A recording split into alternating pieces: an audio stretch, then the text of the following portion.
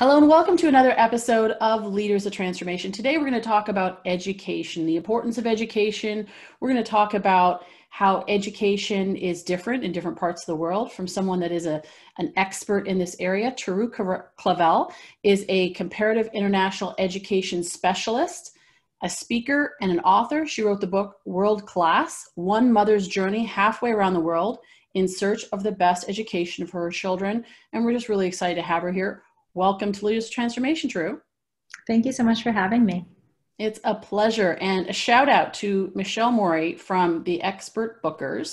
She has been very patient about uh, setting up this interview, and we had to reschedule it because of COVID and all this kind of thing. I made some changes, and so I just so appreciate her, and I appreciate all the support that we get for this show, and that includes you that is listening, that is watching, because, and of course our guests as well, because um, it all makes, this is what makes this podcast a success. If you like this episode, if you enjoy what you're listening, as, as we're talking, this is really resonating with you, please share it with your friends, somebody else that maybe uh, could benefit from this information as well. Please leave us a rating and review. It really does help us to get a greater reach around the world. So we appreciate you for doing that. All right, Teru, let's talk about education. You are an expert in education. How did you how did you come to that point of expertise? Well, I think it actually kind of fell into my lap. Um, I've always been fascinated with education, and frankly, I never thought I could be a classroom teacher. I didn't really think I had the skills, the patience, uh, and I have so much respect for teachers. And I just, I, I was like, I, I'm not going to dumb down the profession by trying that. But I was always really interested in the culture behind it, the policies, um, the legislation. So what ended up happening was in 2006, at that point, I had two young boys. They were both in diapers. We had the opportunity to go to Hong Kong. And I thought, you know what? I grew up in the New York tri-state area. It's a good opportunity for them, to, for my kids to see something else. And my backstory is that I'm bicultural. I was raised uh, by a first generation immigrant um, single mom from Japan. So I spoke Japanese in my home. So going overseas, especially to Asia, didn't seem so foreign to me. So I thought, oh, I have this opportunity for my kids to experience maybe something similar. So in 2006, you may hear my dog shaking. Uh, sorry. In 2006, I, I left and we, we went to Hong Kong. We were there for four years, during which time I had my third child, and I decided to enroll my kids in the public schools, the local schools there, and not the international schools, which is typically the route that expatriates take. And then we had the opportunity to move to Shanghai.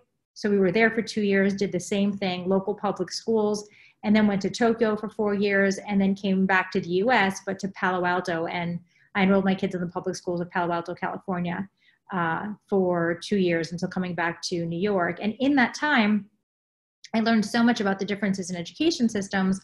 I went back to school and got a master's in comparative international education. I became an education journalist.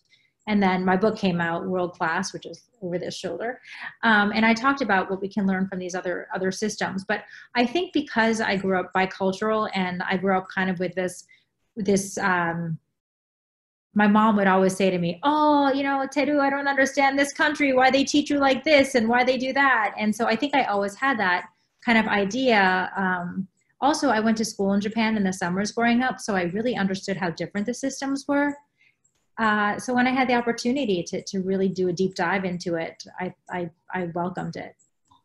So, what was the biggest difference between being in the US, going to school, even yourself, but then as a parent later on, what's the biggest difference between the US and let's say Japan or Shanghai?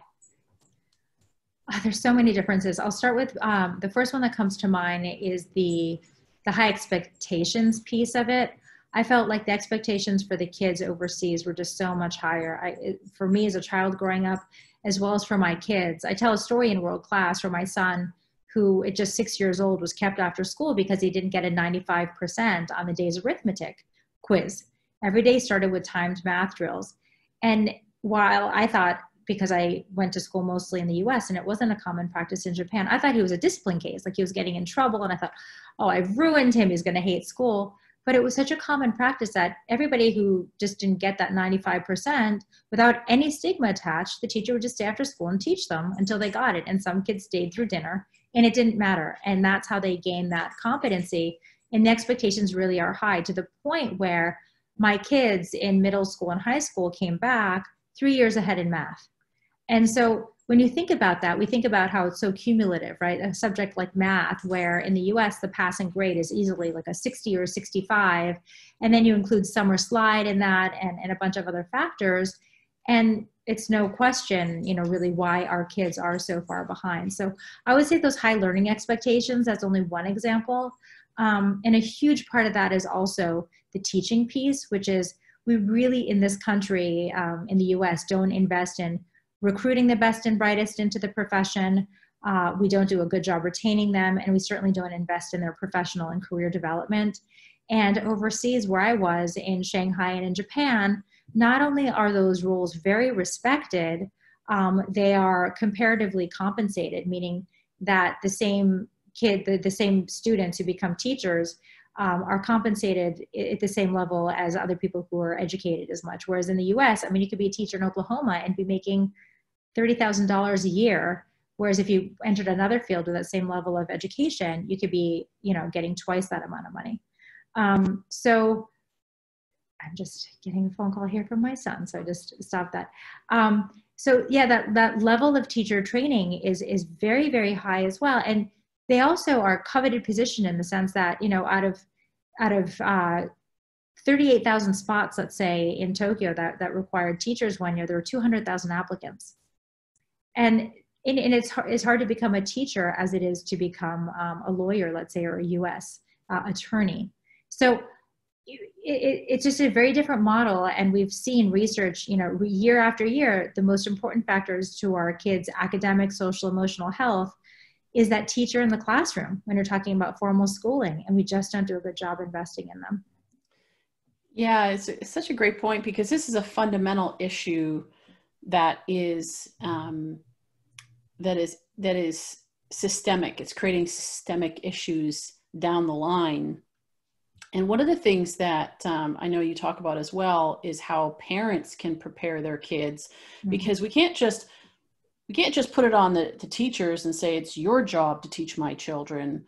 It's also the parents job. And it's kind of like with what you did is you looked at your children and you said okay how can we had you had the opportunity in front of you and you took it and you said how can we make the most of this so that my children can get the best education and I'm sure that in this process, you also invested personally into their education. Can you talk a little bit more about that? There's so many parents right now, maybe not necessarily ones that are listening to this show that are attracted to this type of show, but there's so many parents that kind of like just abdicate more than even just delegate. Sure. So that's a big piece of uh, a big reason why I wrote the book World Class because I remember sitting, I was watching my son's soccer class. We were in Shanghai, and that's not, it wasn't really common class back then because soccer wasn't yet popular. It was in, I think, 2011. And I kept thinking about the, the parent involvement piece because it seems so obvious to me what parents had to do in in China, where, where I was in Shanghai, to support their kids' educations. And I found the exact same thing when I was in Japan. And I kind of felt like, wait a minute, in the US, I don't think this is happening. Um, and so fast forward, I get to Palo Alto and I'm thinking, why are the schools seemingly at war with the families? Why is there so much blaming? And I, I tell this story where I remember picking up my, my son um, in his school in Shanghai and the, and the parents and the grandparents would be there, usually grandparents, because it's usually dual working um, fam- parent families. But the grandparent would be there and the kid would be getting in trouble and the teacher would be like yak yap yap yapping at the child. And then you'd see in real time the grandparent like da, da, da, da, to the child. And then i was just thinking you know in the us it would be kind of the a different system right? The parent may talk to the teacher uh, the, the teacher may talk to the parent or the parent and they're kind of blaming each other. And then there's kind of no culpability on the part of of the child or the it, it, it was a very different kind of a dynamic that i witnessed. And there's no research, I feel like, I don't want to say new research, that's an exaggeration, but in the US, there's very little research on how the parent influence informs academic, social, emotional outcomes of children. Whereas in Asia, there's tons of it. And so that's that's really where World Class was born. I got this idea, okay, because I started digging and digging, and I talked to my professors, and there just wasn't that much information um, comparatively. So I'll give a few more examples. In Japan, to not come to a parent ed class or a parent ed meeting, I should say, you have to write a handwritten note and opt out. And I mean, this is how extreme it is, right? And, and that was across the board from preschool to, to elementary, middle. And what I learned in those classes, and I had a lot of hubris, I'll admit it. I was like, oh, this is my third child. What am I going to learn from a 25 year old teacher? And without fail, within five minutes, I had my notebook out and I was taking extensive notes because they're telling me what's going on in the classroom, what the curriculum is, exactly what I should be doing at home, whether it was a specific, and it wasn't just like, oh, read to your kids. It was no, read this book, read this page, have them repeat it. And they gave me very, very direct instructions. And whereas there's a lot of competition within the US schools and classrooms, much more so than people think. In fact, the studies have shown now that US 15 year olds feel that their environments are much more competitive than in almost any nation in the world. And that wow. includes East Asia, that includes Japan and, and South Korea and China, where a lot of us a lot of americans will think okay those are the most competitive. Kids aren't you know kids aren't feeling supported in the schools and their anxiety and their stress and the suicide rates are skyrocketing. No it's the opposite actually. Our students are the are the most um, stressed um, and not and not getting supported uh, socially emotionally.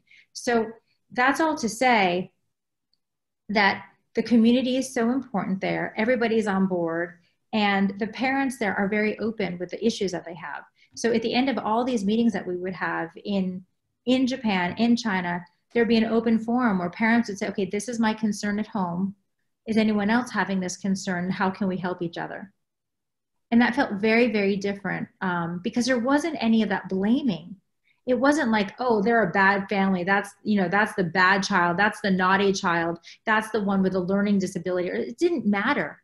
Everybody was in there to help everyone else. And that was the equity piece um, which is another big problem that we have in our school system um, in the US because there's so much kind of you know this inherent bias that, that we practice in our in our schools and my son's best friend in shanghai came from a fa- family of migrant workers they were not educated themselves. In fact the boy didn't even have front teeth because they didn't know about dental hygiene. Yet in the ranking system he was one of the top students in the class. So you know equity is when you can disassociate your socioeconomic background from your from your academic credential for uh, academic performance. And we have a really hard time of disaggregating that in this country.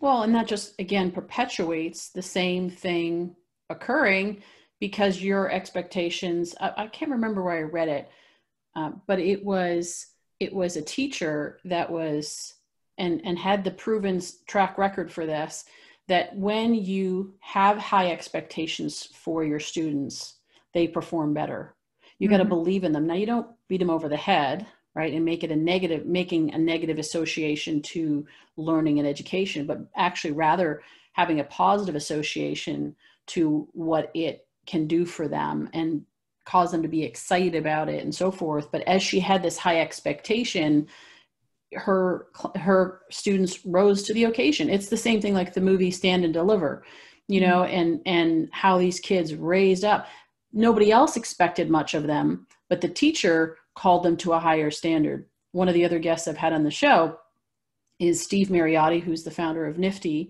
and he started out as a teacher mm-hmm. And he was in the New York uh, City public school system and he had been given these students that were basically kicked out of every school and and they all, this is their only chance right? And so he had no experience no other teacher wanted to take them. And so he was given this class to work with and how he how he connected with him how he learned to make the the connection between what they were learning in math and their mm-hmm. life outside and how to survive on the street and how to thrive yeah. made the difference for them and he raised the standard.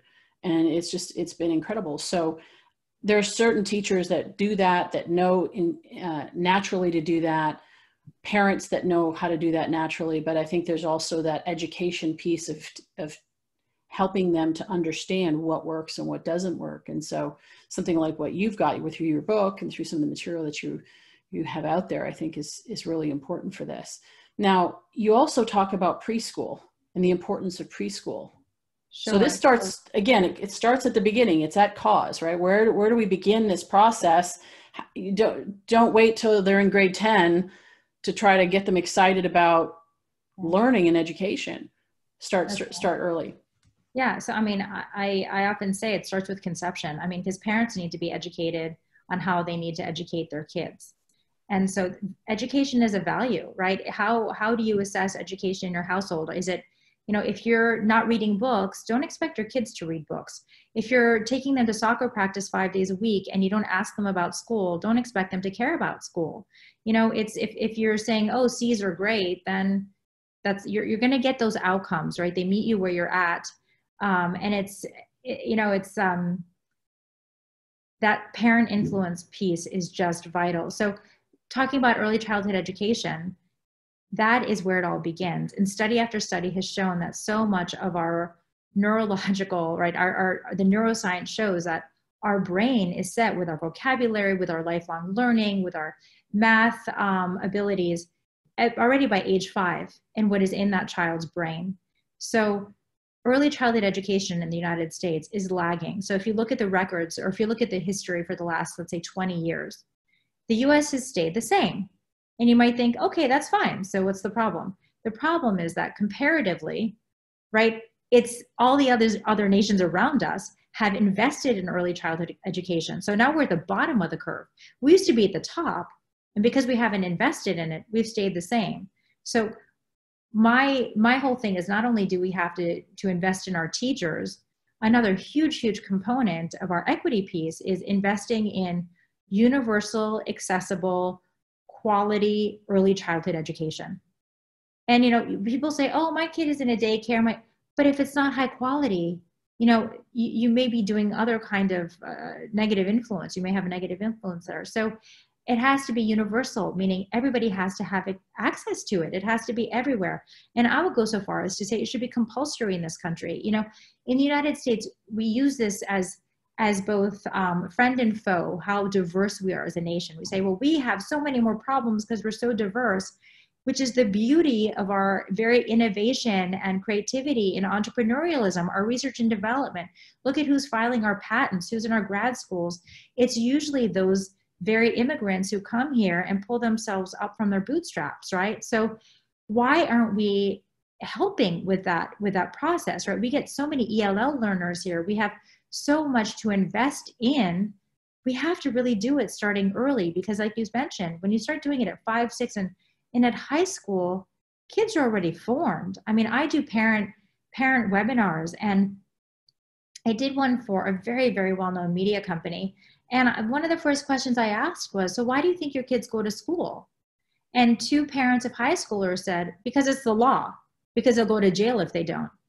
And if that is where you're starting that's that's pretty low, right? I mean, talking about uh, talk, who's who's surviving best or faring best in COVID. It's those people who are adaptable and flexible, and lifelong learners, right? Because you have to con- constantly change, and with with the way the world is going, that that's a very important skill.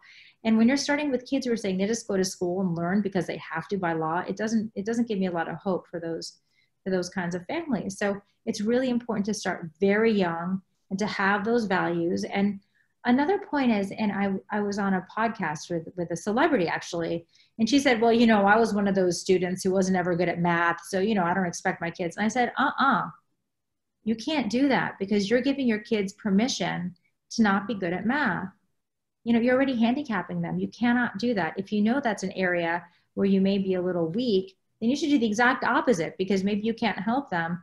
Roll up your sleeves even more and find the resources that your kids need to be to be stronger than than you may think that you were you know higher bar yeah it's interesting that you say that because i'm a big believer in playing to your strengths and some people are just not good in certain areas and yet that doesn't give you a license to be poor in it so mm-hmm. math for example no they may not gravitate to calculus and algebra and whatever higher levels of, of mathematics but they have to understand certain basics. And if they don't understand those certain basics, even as an entrepreneur, I'm a very entrepreneurial person. I grew up in an entrepreneurial family.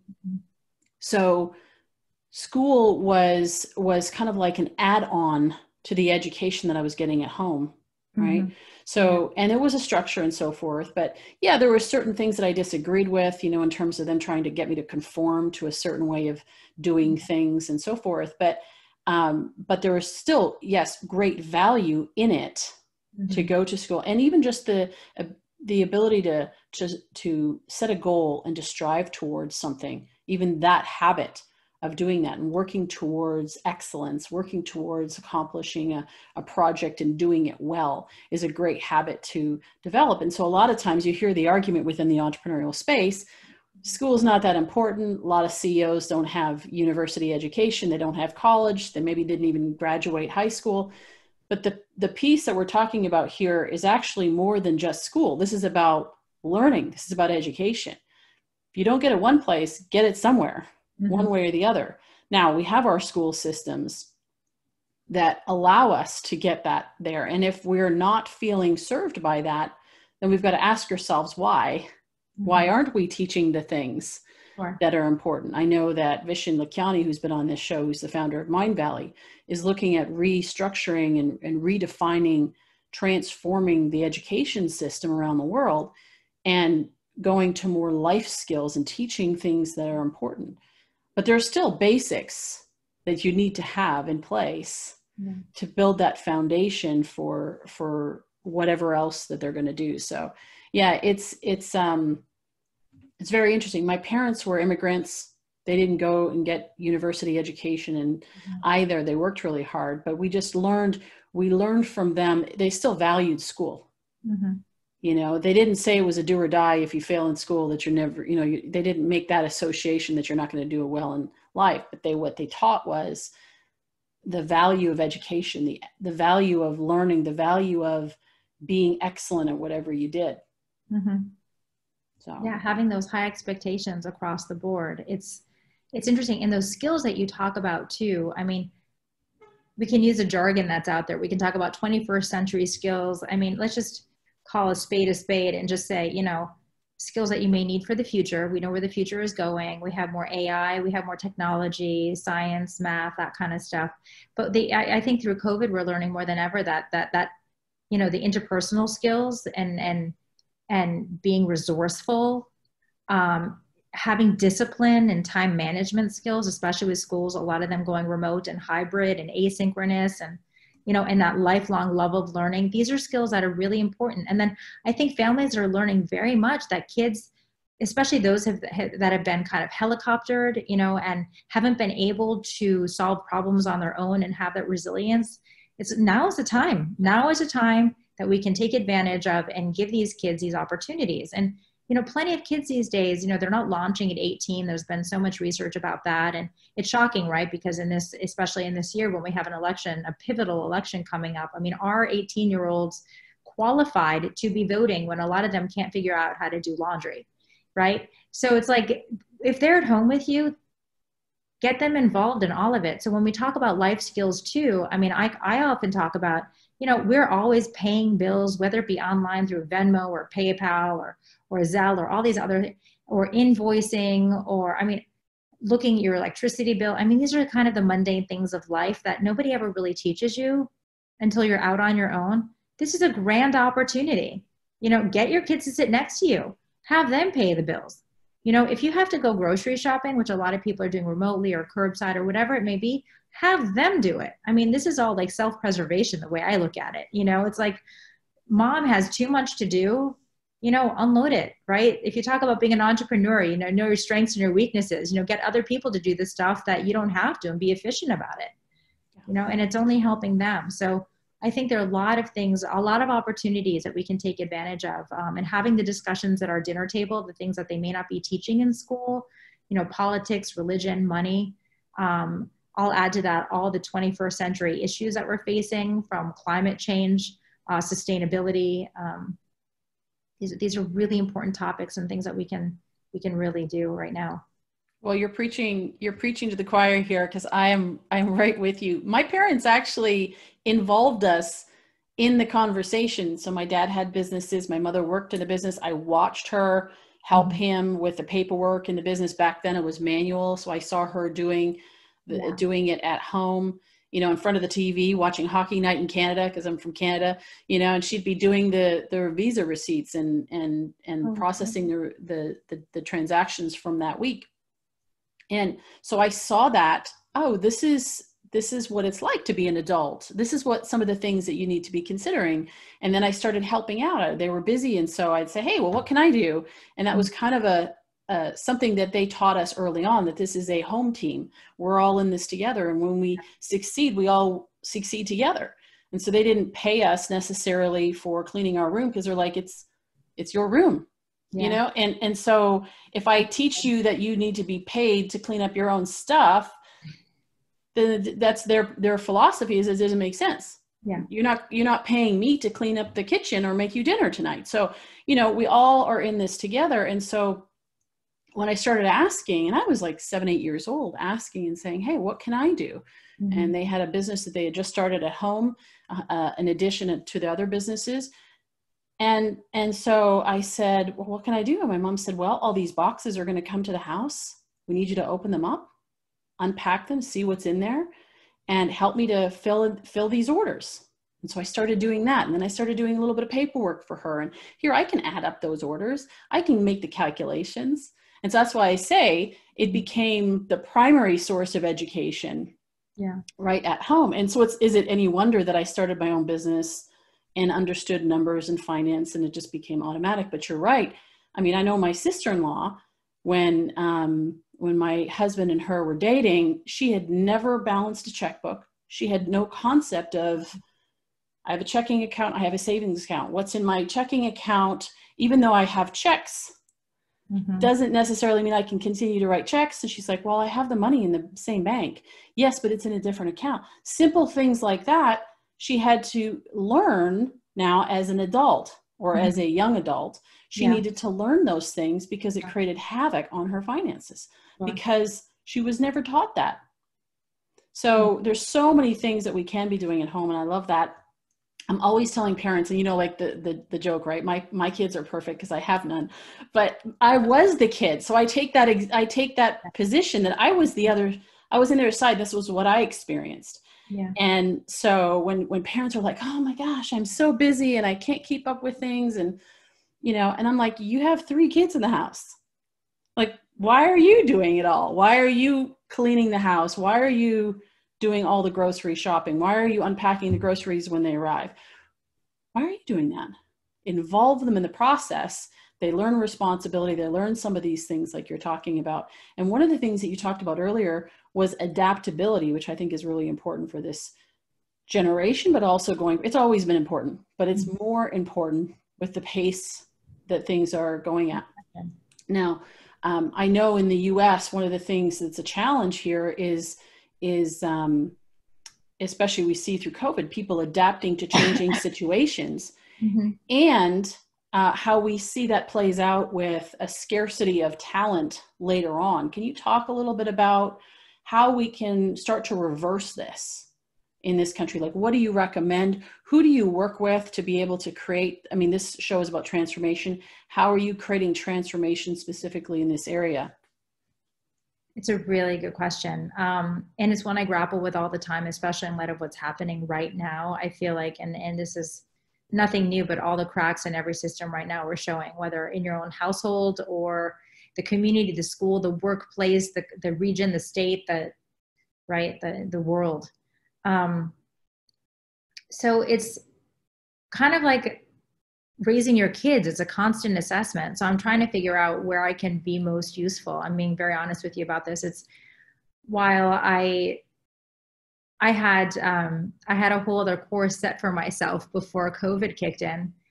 And um, and i was working on two media projects but uh, one has been completely derailed because of covid. I mean there's no it was a, a show that would travel the world and go look at schools we have another project going, um, which is a kids series, and it does it's a kind of edutainment. So within um, within the idea of entertaining kids, it's educating them also on what what they need in terms of 21st century skills. So I guess I guess you could say it's working on a larger media platform. Um, I, I will be the first to admit that when I did my research for World Class, I traveled across the country from 2017, the 2017 to 18 academic year. And I went to DC, I went to conferences, I met with scholars, teachers, students, parents, um, lobbyists at the local and at the national level. And the reality was, there's very little I felt like I could do without a ton of money behind me and a huge endowment. And that's even at that level, I've talked to huge foundations and they feel massive frustration. So through using, and I'm not a big fan of social media, I think there are a lot of destructive components to it. Um, if you haven't seen, or if your viewers haven't seen the most recent movie, The Social Dilemma, I highly recommend it.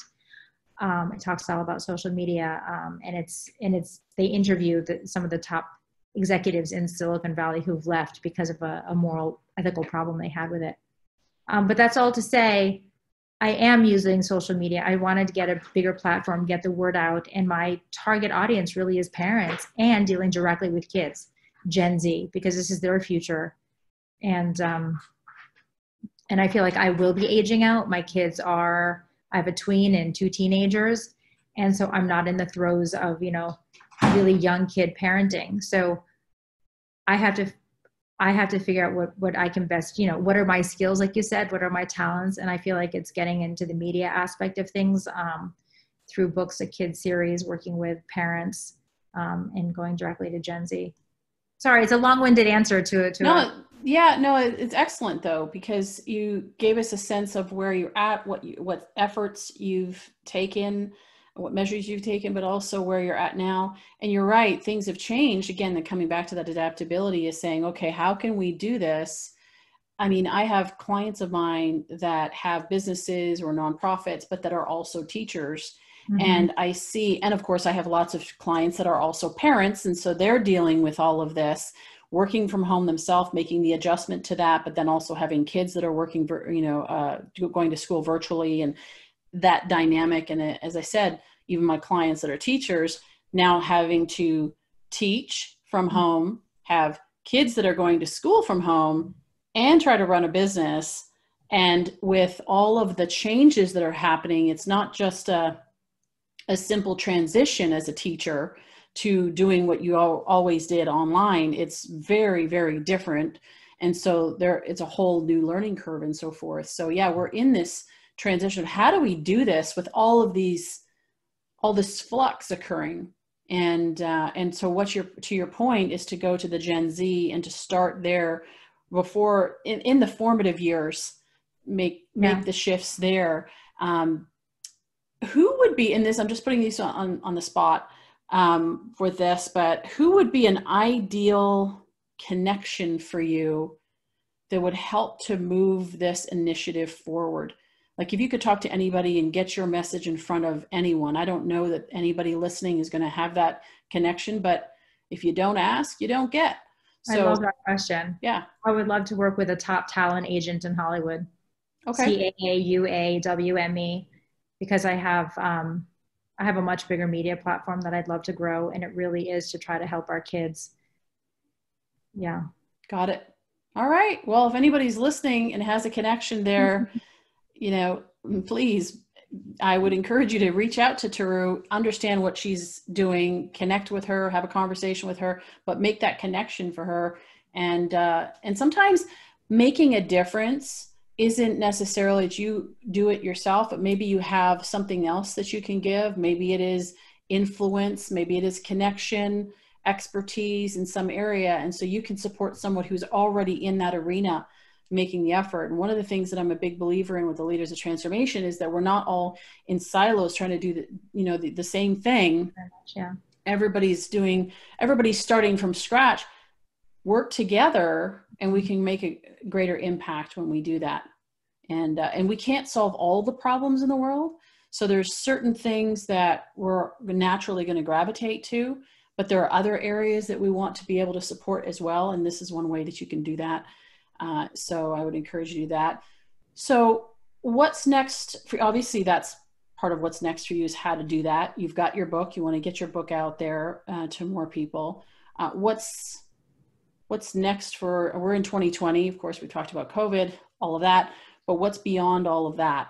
Once things settle down, it creates a we create a new normal. I mean, it'll never go back the way it was, but Yeah, so I have a book series um, for Gen Z, and it's kind of a superhero uh, series, but it's grounded in 21st century skills, and the kids all live in in New York, and they're diverse, and it's um, it's a cool concept based on what I observed kids really need, but based on what's going on in our world right now, on a political level as well. So I'm working um, very hard on that. So hopefully that'll come to fruition. And since I have a book out, I kind of know the literary world. So hopefully that'll that'll take off into different media uh, areas of media. So that's that's that's the big one. Uh, but at the same time, I am being engaged to speak to various parent groups at companies and private interest groups and clubs, I guess, and and that I think is really important. So if anybody wants to take me on as a speaker as well, I think it's important to have the conversations because I do talk about specific action steps that parents can take and it's everything from figuring out how you and we talked about this briefly you know how you define and practice an education in your household what you're modeling and then doing a household audit of how you're practicing that and we go into different areas. It's very specific um, and then the action steps thereafter. So it's a whole kind of program that i work parents through especially now because i, I really feel it's so different in the us um, parents are are a lot more confused i think than they are in many other places with thriving education systems because that school family partnership has been so transparent in other nations that have really thriving education systems. And here, for, for various reasons, it hasn't been. But I think now more than ever, we're seeing it has to be. Absolutely. Absolutely. Well, that's awesome. And so we'll make sure, of course, your link is in our show notes so that people can access that. Of course, access your book, World Class. I'm sure it's also on Amazon, but your website at teruclavel.com, uh, we'll make sure the, the right the links and the right pronunciations on the show notes um, for people to connect to you. And um, this is a grassroots initiative, even though you, yeah, you want to go to those key influencers and be able to make the impact there. But I, I see kind of like a two pronged approach of Absolutely. going there and then also at the grassroots level yeah. and so that they can meet in the middle. So um, very, very powerful. true thank you so much for sharing a little bit what you're doing and for your commitment to this, because I'm sure you could do a lot of things with your life, but oh, I appreciate you focusing in on this area because it helps everyone. I really appreciate that. Thanks so much, Nicole. My pleasure. And thank you for listening. Those of you that are listening or watching uh, us on video, thank you for being here. Again, if you enjoyed it, please share it with a friend. If you know someone that could be a good connection for Teru, please uh, reach out and make that connection. Also, leave us a rating review. It does help us get a, a greater reach. We are in over 140 countries. We want to continue to ex expand that reach and to solidify that reach. And so you can help us to do that. We appreciate you. We thank you. We look forward to seeing the next episode of Leaders of Transformation real soon.